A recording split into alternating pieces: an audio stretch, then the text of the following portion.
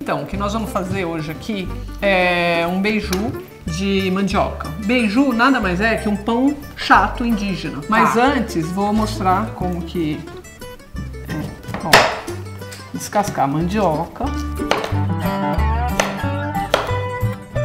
É bem mais fácil de descascar assim.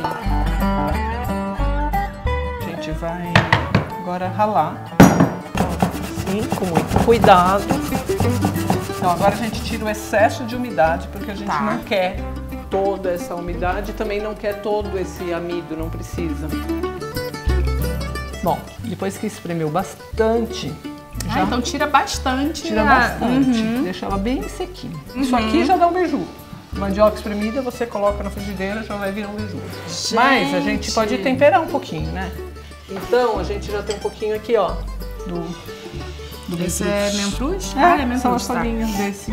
E aí a gente pode colocar aqui. Colocar um pouquinho de alecrim. Com certeza. E aí a Temos gente aqui... pode servir com umas fatias de abacate.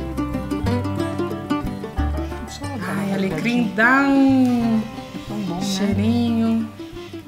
Então agora a gente precisa só aquecer uma frigideira.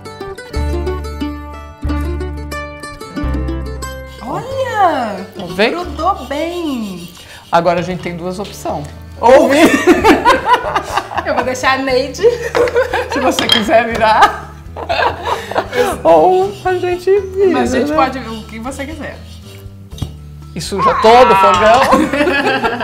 e aí você coloca que quiser. Quiser fazer agora um recheio de pizza aqui em cima, coloca os recheios da pizza que você Tomate, quer. queijo, coloca isso. Aí coloca assim, só pra dar uma murchada.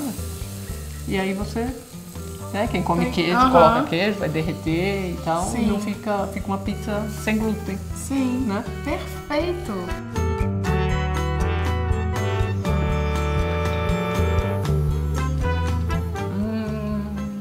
Ficou Ele bom? tá muito bom.